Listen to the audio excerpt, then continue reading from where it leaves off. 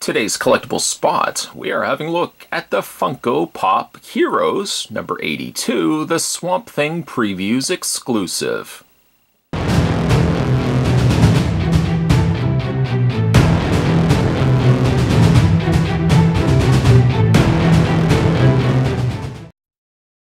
Spot found this at his local comic book store and uh, really love the look of Swamp Thing era. I was really like Swamp Thing anyways, but getting a Swamp Thing here in vinyl figure treatment, yeah, yeah, that's pretty cool.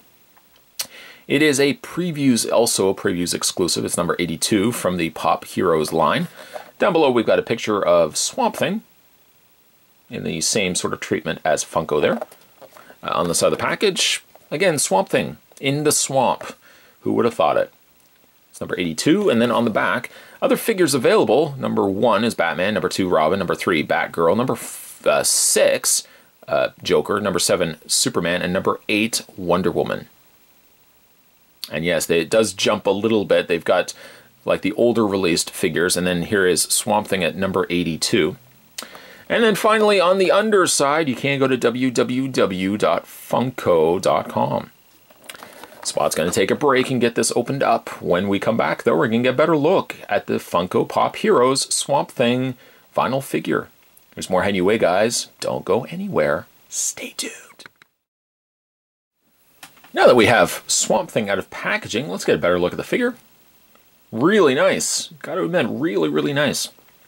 Now, I may be saying that, of course, because I have a soft spot for Swamp Thing, but all things considered, he's one of the standout characters from the Funko vinyl figure line.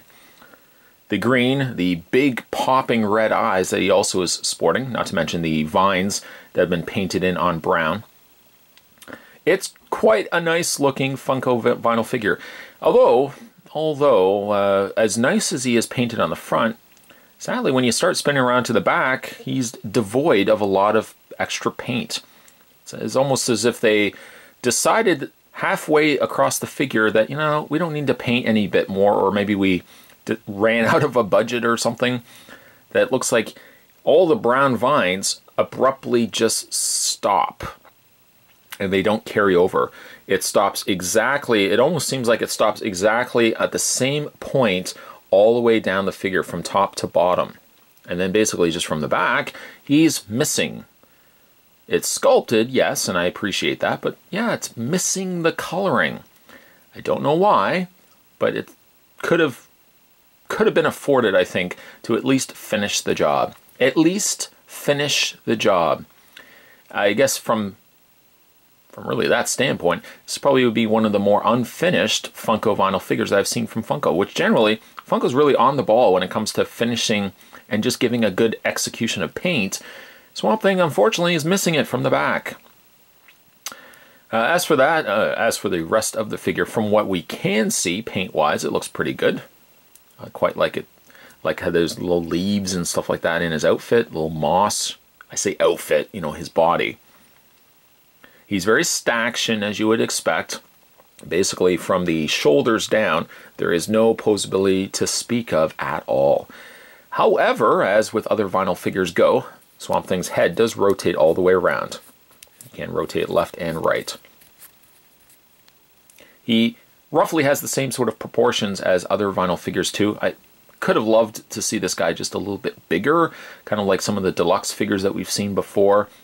But still, I like I like the figure a lot. I probably will like him more so looking at him from the front rather than looking at the incomplete, finished, unfinished area that they've left on the back. That's going to be a bit of a mystery to me.